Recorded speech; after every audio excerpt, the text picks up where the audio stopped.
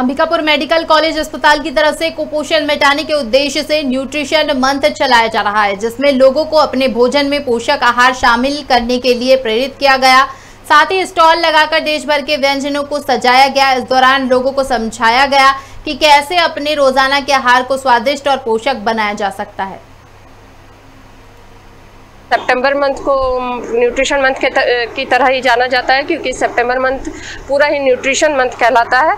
पहले ये वीकली मनाया जाता था एक से सात सितंबर तक न्यूट्रिशन मंथ को मनाया जाता था लेकिन कुछ पोषण तत्व की कमी के कारण इसे पूरे मंथली मनाया जाता है। इसी उपलक्ष्य में आज मैंने एक प्रोग्राम रखा था जिसमें जो हमारा थीम था इस बार का प्रोग्राम का फ्लेवर ऑफ़ इंडिया